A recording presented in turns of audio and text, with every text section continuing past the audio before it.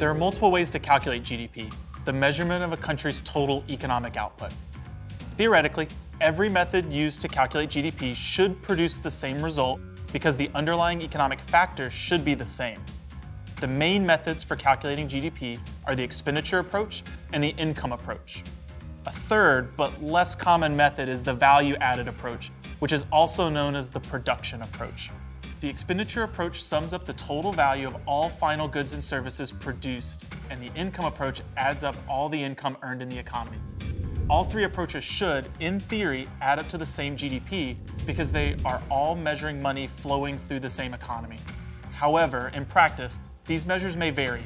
There are all notably complex measures because of the methods by which they aggregate so many different sectors and types of economic activity. Therefore, it can be useful to compare the figures resulting from the three approaches, and large disparities between them can act as signs of errors or omissions in the data gathering process. GDP is a measure of economic activity only. Other markers of the health of an economy, such as income inequality, productivity, and other factors, are excluded from the calculations. GDP is a measure of economic activity over a set period. A unit of time may be chosen. This is typically one year, but GDP can also be calculated at quarterly intervals. Once a designated time period is chosen, the calculation of GDP is then based on data gathered from the private and public sectors during that time. GDP can then provide a snapshot of the economic activity in that specific time period.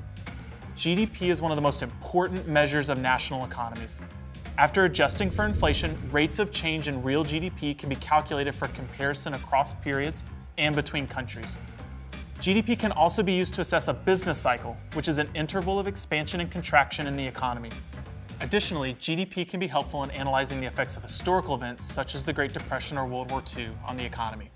For example, GDP declined sharply during the Great Depression following the stock market crash in 1929. A decade passed before GDP reached pre-crash levels. In contrast, GDP spiked with the beginning of World War II and peaked at the end of the war.